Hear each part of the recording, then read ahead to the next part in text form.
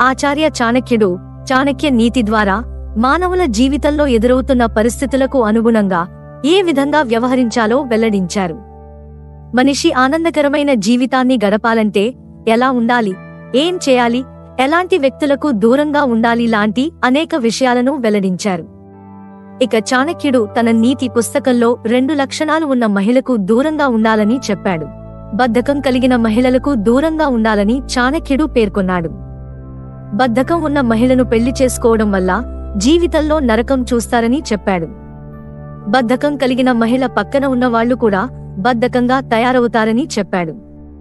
బద్ధకం కలిగిన వారికి జీవితంలో ఎలాంటి లక్ష్యాలు ఉండవని చెప్పాడు. బద్ధకం వల్ల స్త్రీలలో క్రమశిక్షణ కూడా ఉండదని చాణక్యుడు వెల్లడించాడు. అలాంటి వారితో స్నేహం చేస్తే వారితో పాటు మిగతా వాళ్ళు కూడా బద్ధకంగా మారిపోతారని చెప్పాడు.